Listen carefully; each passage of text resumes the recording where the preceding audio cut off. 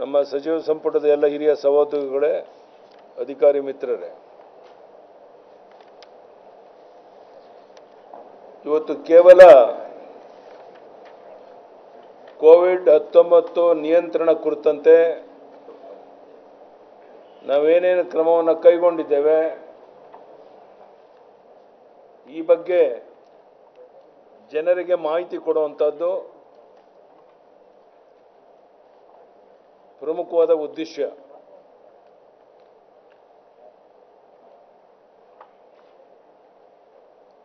Covid ಹತ್ತೊಂಬತ್ತು ಸೋಂಕು ನಿಯಂತ್ರಣಕ್ಕಾಗಿ ರಾಜ್ಯದಲ್ಲಿ ಏಪ್ರಿಲ್ ಇಪ್ಪತ್ನಾಲ್ಕರಿಂದ ಕೆಲವು ನಿರ್ಬಂಧಗಳನ್ನು ಹೇರಲಾಗಿತ್ತು. ಅಲ್ಲದೆ ಮೇ ಹತ್ತರಿಂದ ಇನ್ನಷ್ಟು ಕಠಿಣ ಕ್ರಮಗಳನ್ನು ಜಾರಿಗೊಳಿಸಲಾಯಿತು. ರಾಜ್ಯದಲ್ಲೇ ಮೇ ಐದರಂದು ಗರಿಷ್ಠ ಐವತ್ತು ಸಾವಿರದ ನೂರ ಹನ್ನೆರಡು ಪ್ರಕರಣಗಳು ವರದಿಯಾಗಿದ್ದು, ಈ ಕಠಿಣ ಕ್ರಮಗಳಿಂದಾಗಿ ವರದಿಯಾಗ್ತಿರುವಂಥ ಪ್ರಕರಣಗಳ ಸಂಖ್ಯೆ ನಿನ್ನೆ ಮೂವತ್ತೊಂಬತ್ತು ಸಾವಿರದ ಒಂಬೈನೂರಕ್ಕೆ ಇಳಿದಿದೆ. ಇದೊಂದು ಸಮಾಧಾನಕರ ಸಂಗತಿ. ಇದು ನಿರ್ಬಂಧಗಳ ಜಾರಿ ನಂತರ ಪರಿಸ್ಥಿತಿ ಸುಧಾರಿಸ್ತಾ ಇರೋದಕ್ಕೆ ಒಂದು ನಿದರ್ಶನ. ಬೆಂಗಳೂರಿನಲ್ಲಿ ಮೇ ಐದರಂದು ಇಪ್ಪತ್ತ್ಮೂರು ಸಾವಿರದ ನೂರಾರು ಪ್ರಕರಣಗಳಿದ್ದು, ನಿನ್ನೆಗೆ ಅದು ಹದಿನಾರು ಸಾವಿರದ ಇನ್ನೂರ ಎಂಬತ್ತಾರು ಸಂಖ್ಯೆಗೆ ಇಳಿಕೆಯಾಗಿದೆ. ಪ್ರಾರಂಭದಲ್ಲಿ ಕೋವಿಡ್ ಪ್ರಕರಣಗಳ ಸಂಖ್ಯೆ ತೀವ್ರ ಏರುಗತಿಯಲ್ಲಿದ್ದ ಬೆಂಗಳೂರು, ಬೀದರ್ ಮತ್ತು ಕಲಬುರಗಿನಲ್ಲಿ ಪ್ರಕರಣಗಳ ಸಂಖ್ಯೆ ಹಾಗೂ ಪಾಸಿಟಿವ್ ದರ ಕಡಿಮೆ ಆಗ್ತಿದೆ. ಕಳೆದ ವರ್ಷ ಮಾರ್ಚ್ನಲ್ಲಿ ಆರೋಗ್ಯ ಇಲಾಖೆ ವ್ಯಾಪ್ತಿಯ ಆಸ್ಪತ್ರೆಗಳಲ್ಲಿ ಸಾವಿರದ ಒಂಬೈನೂರ ಎಪ್ಪತ್ತು ಆಕ್ಸಿನೇಟೆಡ್ ಬೆಡ್ಗಳು ನಾನ್ನೂರ ನಲವತ್ನಾಲ್ಕು ಐಸಿಯುಗಳು ಹಾಗೂ ಆರುನೂರ ಹತ್ತು ವೆಂಟಿಲೇಟರ್ ಸಹಿತ ಐಸಿಯುಗಳ ಸೌಲಭ್ಯ ಇತ್ತು. ಎಲ್ಲ ಸೌಲಭ್ಯಗಳನ್ನು ಗಣನೀಯವಾಗಿ ಹೆಚ್ಚಿಸಲಾಗಿದೆ.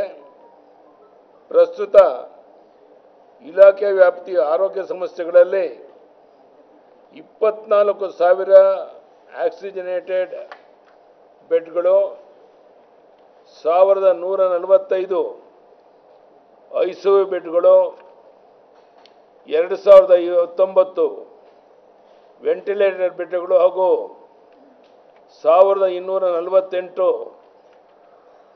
ಎಚ್ ಎಫ್ ಎನ್ ಸಿ ಸೌಲಭ್ಯಗಳ ಲಭ್ಯವಿದೆ. ಅಂತೆಯೇ ವೈದ್ಯಕೀಯ ಶಿಕ್ಷಣ ಇಲಾಖೆ ವ್ಯಾಪ್ತಿಯಲ್ಲಿ ಆಕ್ಸಿನೇಟೆಡ್ ಬೆಡ್ಗಳ ಸಂಖ್ಯೆಯನ್ನು ದ್ವಿಗುಣಗೊಳಿಸಿ ನಾಲ್ಕು ಸಾವಿರದ ಏಳ್ನೂರಿಂದ ಒಂಬತ್ತು ಸಾವಿರದ ನಾನ್ನೂರ ಐದಕ್ಕೆ ಹೆಚ್ಚಿಸಲಾಗಿದೆ. ವೆಂಟಿಲೇಟೆಡ್ ಬೆಡ್ಗಳ ಸಂಖ್ಯೆಯನ್ನು ಮುನ್ನೂರ ನಲವತ್ತೊಂದರಿಂದ ಆರುನೂರ ನಲವತ್ತಾರಕ್ಕೆ ಹೆಚ್ಚಿಸಲಾಗಿದೆ. ಎಚ್ ಎಫ್ ಎನ್ ಸಿಗಳ ಸಂಖ್ಯೆಯನ್ನು ಹದಿನೈದರಿಂದ ಐನೂರ ಎಪ್ಪತ್ತಕ್ಕೆ ಹೆಚ್ಚಿಸಲಾಗಿದೆ. ಆಸ್ಪತ್ರೆಗಳ ಮೂಲ ಸೌಕರ್ಯ ಬಲಪಡಿಸುವ ಪ್ರಕ್ರಿಯೆ ಇನ್ನೂ ಮುಂದುವರೆದಿದೆ. ಹೆಚ್ಚುವರಿ ವೆಂಟಿಲೇಟರ್ಗಳು ಮತ್ತಿತರ ಸೌಲಭ್ಯಗಳು ನಿರಂತರವಾಗಿ ಸೇರ್ಪಡೆ ಆಗ್ತಿವೆ. ಖಾಸಗಿ ಆಸ್ಪತ್ರೆಗಳಿಗೆ ಸುಮಾರು ಇನ್ನೂರು ವೆಂಟಿಲೇಟರ್ಗಳು ನೀಡಿದ್ದೇವೆ. ಖಾಸಗಿ ವೈದ್ಯಕೀಯ ಕಾಲೇಜುಗಳು ಆಕ್ಸಿಜನ್ ಬೆಡ್ಗಳನ್ನು ಹೆಚ್ಚಿಸಲು ಹಾಗೂ ಆಕ್ಸಿಜನ್ ಉತ್ಪಾದನಾ ಘಟಕಗಳನ್ನು ಸ್ಥಾಪಿಸಲು ಸಹಾಯಧನ ನೀಡ್ತಾ ಇದ್ದೇವೆ. ಇಂಥ ಆಸ್ಪತ್ರೆಗಳಿಗೆ ಸರ್ಕಾರ ಶೇಕಡ ಎಪ್ಪತ್ತರ ಸಹಾಯಧನ ನೀಡಲಿದ್ದು, ಉಳಿದ ಶೇಕಡ ಮೂವತ್ತರ ಮೊತ್ತವನ್ನು ಆಯಾ ಆಸ್ಪತ್ರೆಗಳು ಭರಿಸಬೇಕು ಅಂತ ವಿನಂತಿ ಮಾಡಿದ್ದೇವೆ.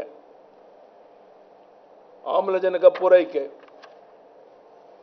ರಾಜ್ಯದಲ್ಲಿ ಹೆಚ್ಚುತ್ತಿರುವ ಆಮ್ಲಜನಕ ಬೇಡಿಕೆಯನ್ನು ಸರಿದೂಗಿಸಲು ಮೂರು ಅಂಶಗಳ ಕಾರ್ಯತಂತ್ರವನ್ನು ರೂಪಿಸಿದೆ.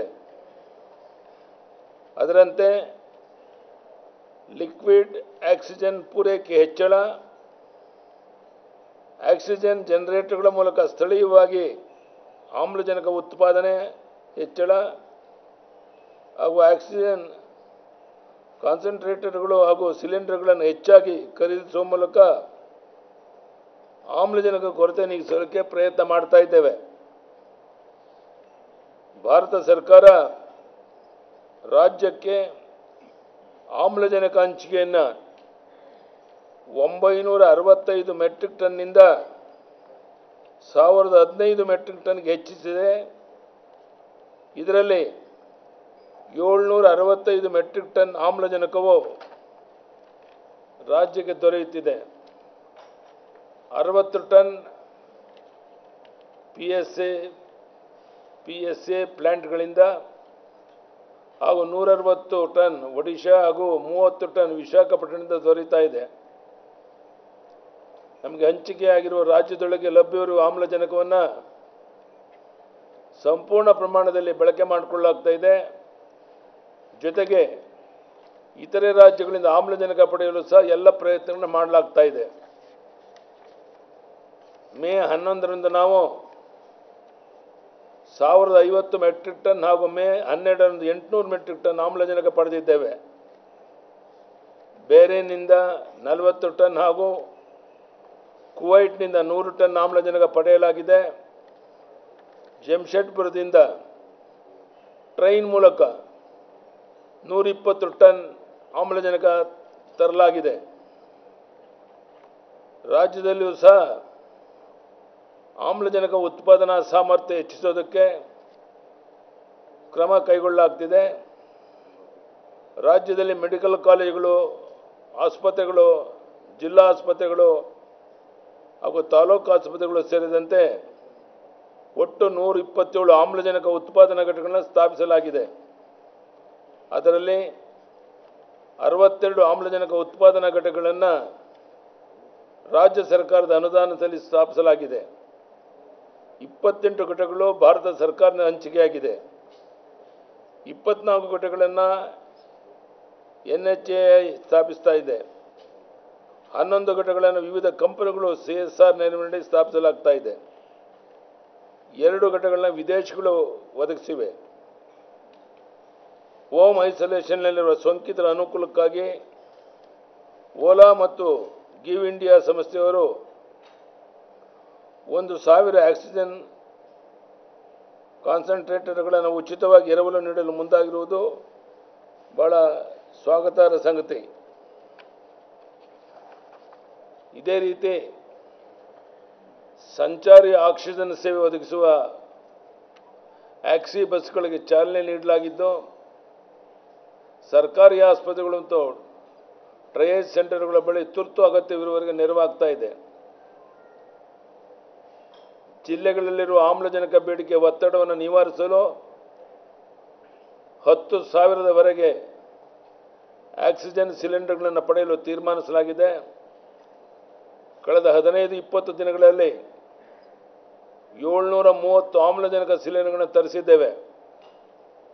ಮುನ್ನೂರ ಎಂಬತ್ತು ಸಿಲಿಂಡರ್ಗಳನ್ನ ಭಾರತ ಸರ್ಕಾರ ಒದಗಿಸಿದ್ದು, ಮುನ್ನೂರೈವತ್ತು ಸಿಲಿಂಡರ್ಗಳನ್ನು ವಿದೇಶದಿಂದ ಪಡೆಯಲಾಗಿದೆ. ಈ ಸಿಲಿಂಡರ್ಗಳನ್ನು ಅಗತ್ಯ ಇರುವಂಥ ಜಿಲ್ಲೆಗಳಿಗೆ ಹಂಚಿಕೆ ಮಾಡಲಾಗಿದೆ. ಮೂರು ಸಾವಿರ ಆಕ್ಸಿಜನ್ ಕನ್ಸಂಟ್ರೇಟರ್ಗಳನ್ನು ಈಗಾಗಲೇ ರಾಜ್ಯದೆಲ್ಲೆಡೆ ಹಂಚಿಕೆ ಮಾಡಲಾಗಿದೆ. ಸರ್ಕಾರ ವಿವಿಧ ಕಂಪನಿಗಳು ಸಿ ಎಸ್ ಆರ್ ನೆರವಿನೊಂದಿಗೆ ಇನ್ನೂ ಏಳು ಸಾವಿರ ಕಾನ್ಸಂಟ್ರೇಟರ್ಗಳನ್ನ ಹಂಚಿಕೆ ಮಾಡಲಾಗುವುದು. ಭಾರತ ಸರ್ಕಾರ ನಲವತ್ತೈದು ವರ್ಷ ಮೇಲ್ಪಟ್ಟ ನಾಗರಿಕರಿಗೆ, ಆರೋಗ್ಯ ಕಾರ್ಯಕರ್ತರಿಗೆ ಹಾಗೂ ಮುಂಚೂಣಿಯ ಕಾರ್ಯಕರ್ತರಿಗೆ ಲಸಿಕೆ ಪೂರೈಕೆ ಮಾಡುತ್ತಿದೆ.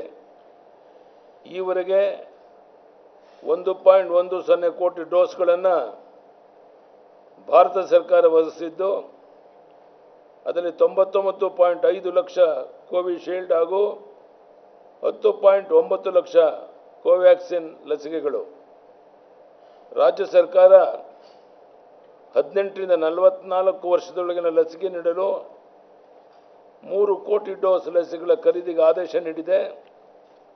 ಅದರಲ್ಲಿ ಎರಡು ಕೋಟಿ ಡೋಸ್ ಕೋವಿಶೀಲ್ಡ್ ಹಾಗೂ ಒಂದು ಕೋಟಿ ಡೋಸ್ ಕೋವ್ಯಾಕ್ಸಿನ್ ಸೇರಿದೆ. ಅಲ್ಲದೆ ಹೆಚ್ಚುವರಿಯಾಗಿ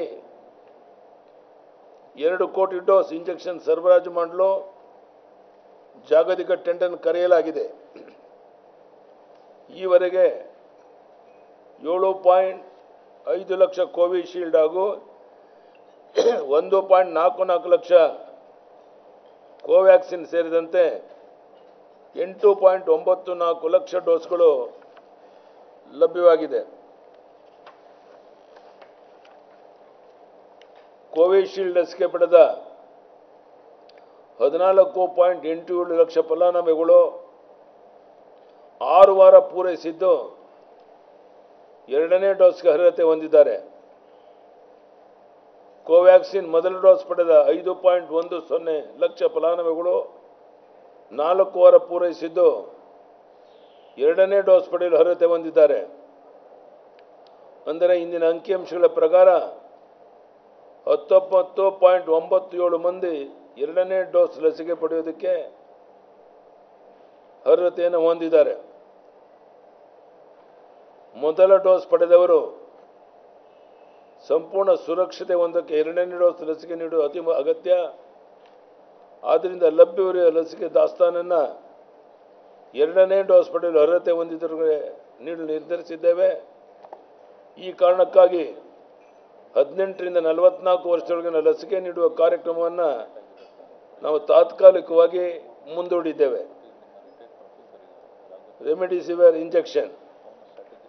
ಭಾರತ ಸರ್ಕಾರ ರಾಜ್ಯಕ್ಕೆ ಏಪ್ರಿಲ್ ಇಪ್ಪತ್ತೊಂದರಿಂದ ಮೇ ಒಂಬತ್ತರವರೆಗೆ ಮೂರು ಪಾಯಿಂಟ್ ಸೊನ್ನೆ ಒಂದು ಲಕ್ಷ ರೆಮಿಡಿಸಿವಿರ್ ಹಂಚಿಕೆ ಮಾಡಿದ್ದು. ಈ ಅವಧಿಯಲ್ಲಿ ಎರಡು ಪಾಯಿಂಟ್ ಏಳು ಎರಡು ಲಕ್ಷ ಡೋಸ್ ರೆಮಿಡಿಸಿವಿರ್ ಪೂರೈಕೆಯಾಗಿದೆ ಇಂಜೆಕ್ಷನ್ ಪೂರೈಕೆಯಲ್ಲಿ ವಿಳಂಬ ಮಾಡಿದ ಕಂಪನಿಗಳ ನೋಟಿಸ್ ಜಾರಿ ಮಾಡಲಾಗಿದೆ. ಮೇ ಹತ್ತರಿಂದ ಹದಿನಾರರ ಅವಧಿಗೆ ಎರಡು ಪಾಯಿಂಟ್ ಏಳು ನಾಲ್ಕು ಲಕ್ಷ ಇಂಜೆಕ್ಷನ್ಗಳು ಹಂಚಿಕೆಯಾಗಿವೆ ಇವು ಸಕಾಲದಲ್ಲಿ ಪೂರೈಕೆಯಾಗುವ ಕುರಿತು ನಿರಂತರ ಪರಿಶೀಲನೆ ಹಾಗೂ ಸಮನ್ವಯ ನಡೆಸಲಾಗ್ತಾ ಇದೆ. ರಾಜ್ಯದಲ್ಲಿ ರೆಮಿಡಿಸಿವಿರ್ಗೆ ಬೇಡಿಕೆ ಹೆಚ್ಚಿರುವ ಹಿನ್ನೆಲೆಯಲ್ಲಿ ಇತರ ರಾಜ್ಯಗಳ ಕೋಟಾದಲ್ಲಿ ಬಳಕೆಯಾಗದೆ ಉಳಿದ ಇಂಜೆಕ್ಷನ್ಗಳನ್ನು ಪೂರೈಸುವಂತೆ ಭಾರತ ಸರ್ಕಾರಕ್ಕೆ ಮನವಿ ಮಾಡಲಾಗಿದೆ. ಖಾಸಗಿ ಆಸ್ಪತ್ರೆಗಳ ಬೇಡಿಕೆ ಪರಿಶೀಲಿಸಿ ಸಮಾನವಾಗಿ ಹಂಚಿಕೆ ಮಾಡಲು ಪಾರದರ್ಶಕ ವ್ಯವಸ್ಥೆಯನ್ನು ರೂಪಿಸಲಾಗಿದೆ.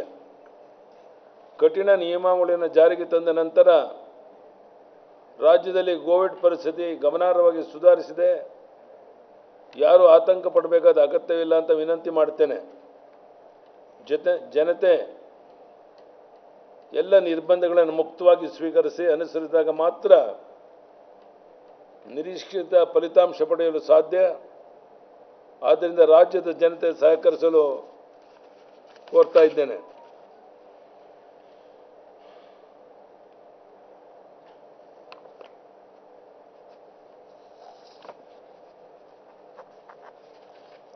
ಗೌರ್ಮೆಂಟ್ ಆಫ್ ಕರ್ನಾಟಕ ಈ setting up a task force for the preparedness of probable third wave of COVID-19 under the chairmanship of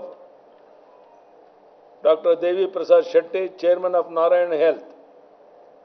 Narayana ಹೆಲ್ತಿನ chairman ಆದ ಡಾಕ್ಟರ್ ದೇವಿ ಪ್ರಸಾದ್ ಶೆಟ್ಟಿ ಅವರ ಅಧ್ಯಕ್ಷತೆಯಲ್ಲಿ ಕೋವಿಡ್ ಹತ್ತೊಂಬತ್ತರ ಮೂರನೇ ಸಂಭವನೀಯ ಅಲೆಯನ್ನು ಎದುರಿಸುವ ಸಿದ್ಧತೆಗಾಗಿ ಕಾರ್ಯಪಡೆಯೊಂದನ್ನು ಕರ್ನಾಟಕ ಸರ್ಕಾರ ರಚಿಸಿದೆ ಎರಡನೇದು government of Karnataka is appointing professor Gagandeep ಗಾ ಕಾಂಗ್ ಪ್ರೊಫೆಸರ್ ಆಫ್ ಮೈಕ್ರೋಬಯಾಲಜಿ